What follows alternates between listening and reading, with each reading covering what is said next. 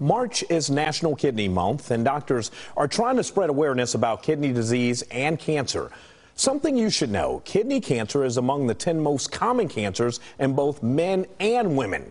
Kennedy Walker spoke to one North Texas man who beat it and has this message for others. Good boy.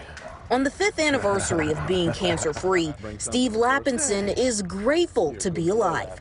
He spends his days doing what he loves working, playing with his dog, and just being able to live. And I'm just happy to be here today, five years cancer free.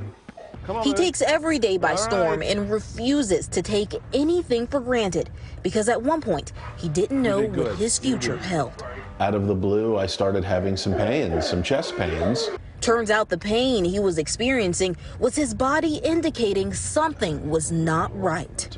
He went to UT Southwestern a few months later, and it was at that time his doctor noticed something unusual. We found a six centimeter tumor on my right kidney. Steve was in shock, but his doctor wasted no time making a treatment plan.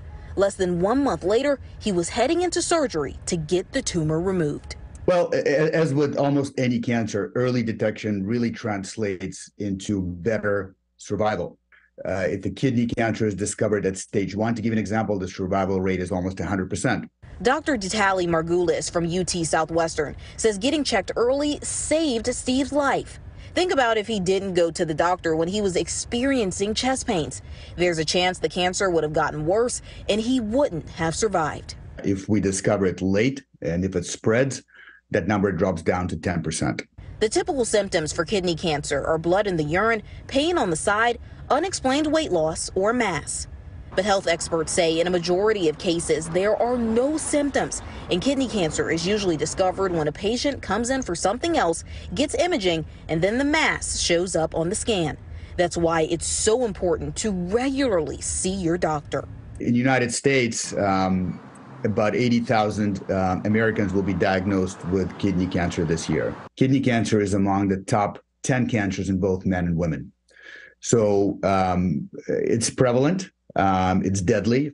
Five years later and cancer free, Steve now spreads awareness about kidney cancer and helps patients in need. I started a company called kickcancershoes.com. Um, and I wanted to give back and help families. I wanted to be able to have a, a direct impact on the result of selling the shoes.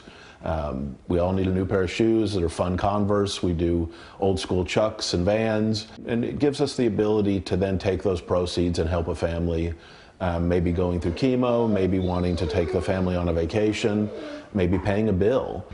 Taking advantage of his second chance at life, Steve says he will continue to live every day to its fullest. And I'm ready to go another five years and many, many more. Again, early detection is key. Doctors say about 15,000 Americans will die from kidney cancer this year alone. So it's very important to get those physicals and see your doctor regularly because in many cases there are no symptoms.